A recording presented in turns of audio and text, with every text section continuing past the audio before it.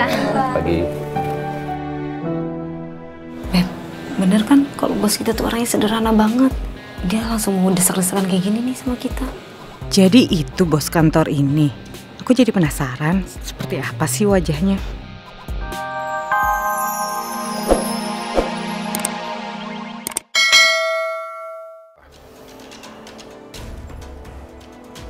Cemburu. Takut.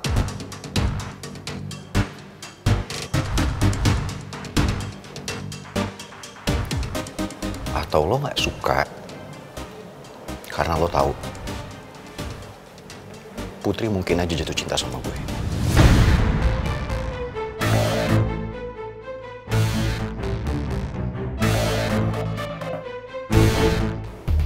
Kasihan.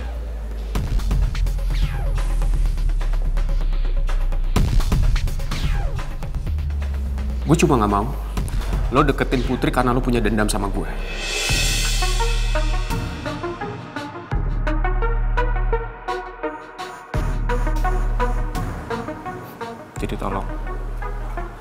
Apa pun yang terjadi sama kita,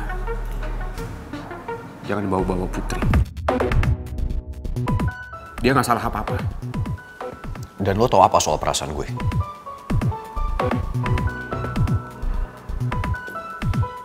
Lo pikir gue cuma manfaatin dia doang?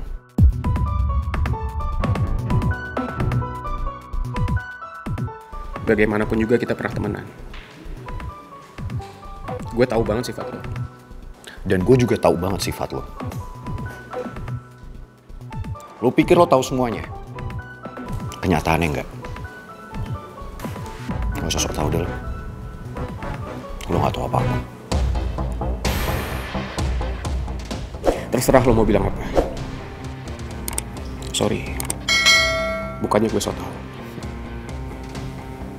Yang jelas, gue gak bakal biarin lo nyakitin Putri.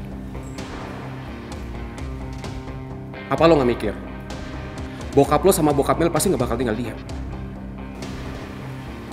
Kalau lo punya perasaan sama Putri, lo jauhin Putri.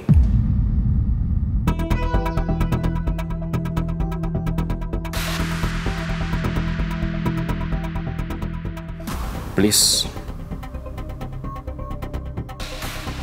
Jangan bikin hidup Putri makin menderita.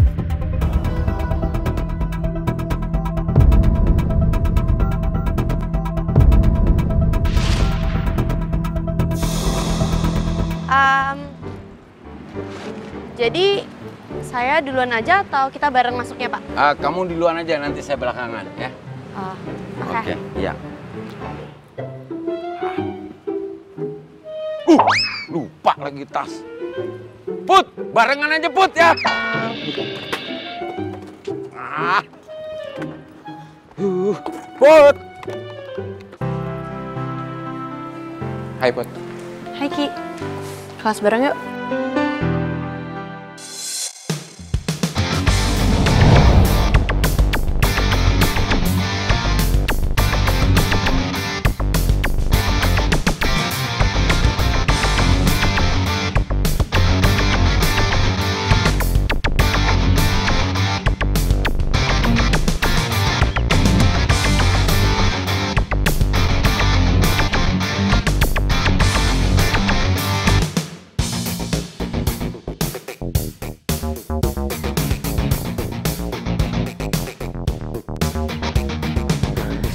Gue gak paham.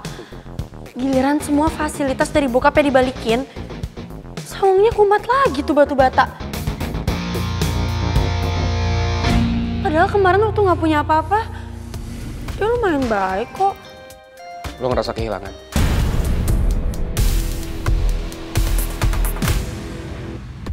Enggak. Ya enggak lah. Yaudah yuk emang seharusnya lo nggak usah terlalu dekat sama dia. Semakin lo dekat sama dia, semakin lo bakal dapat masalah besar. Iya juga sih.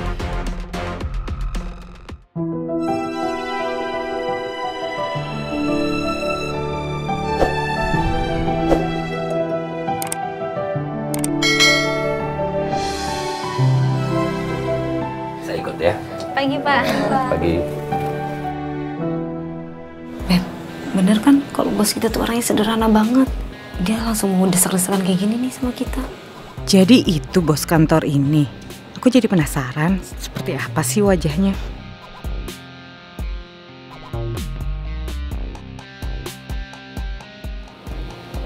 Jadi kalau kalian lihat, progres pembangunan proyek kita udah secepat ini.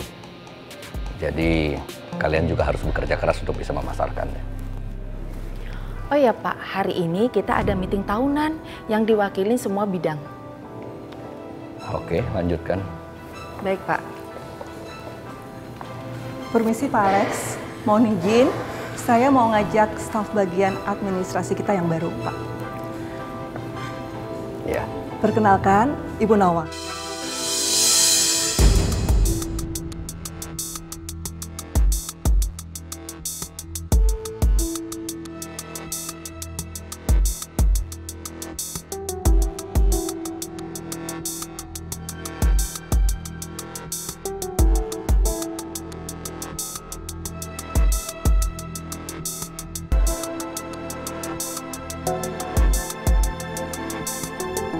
This is my first day officially jadian sama pangeran. Gue seneng banget, makanya gue datang lebih pagi biar cepet-cepet ketemu my friends. Kira-kira my friends di mana ya? Jadinya ikutin gue terus ya, gue bakal lanjut live nanti.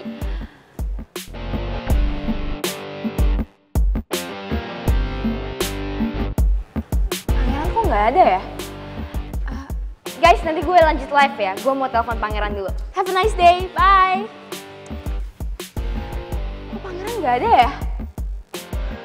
Ntar ya gue telepon dia dulu.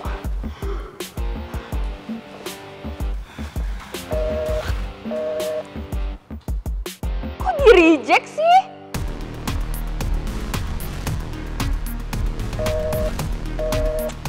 Di reject lagi. Jangan-jangan pangeran di kelas lagi. Hah? Kelas pertama pangeran kan sama kita. Nggak mungkin ke mana-mana lah. Emang nggak mau ngangkat telepon lo aja kali.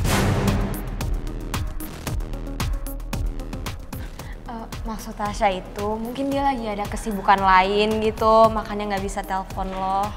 Itu deh. I should call my daddy now. Mel, jangan call your daddy dong. Lo mau pangeran bete sama lo karena lo dikit-dikit ngambek terus call your daddy. Ya gue berhak dong kalau gue protes, gue kan pacarnya. Pacar? Kan lo baru jadian satu hari Mel. Lo udah posesif banget kayak gini. Don't be so posesif. Cowok tuh gak suka cewek-cewek posesif. Posesif berarti gue care. Gue bakal WA pangeran sekarang.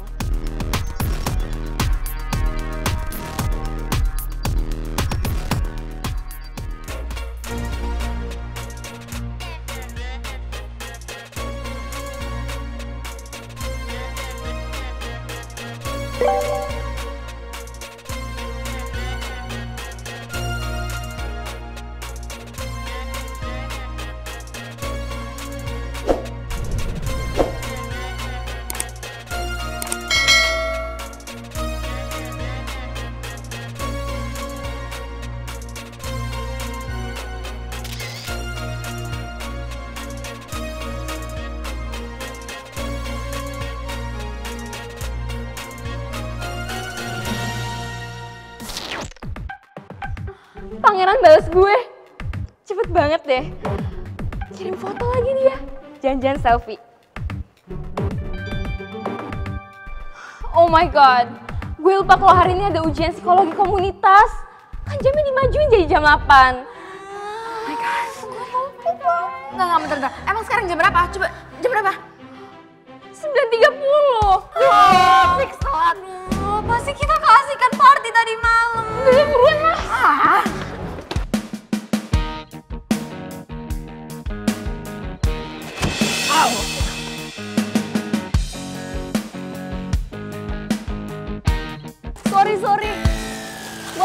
tadi.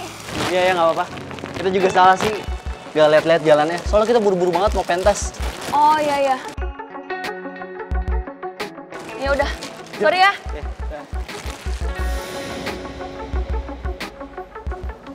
Hey. Kenapa Put? Gak apa-apa. Gue sebenarnya pengen deh ikut UKM